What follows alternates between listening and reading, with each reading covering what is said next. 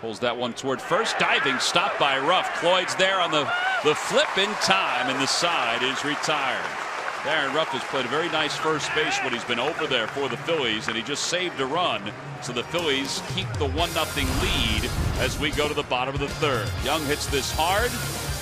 Darin Ruf reacted quickly on the backhand.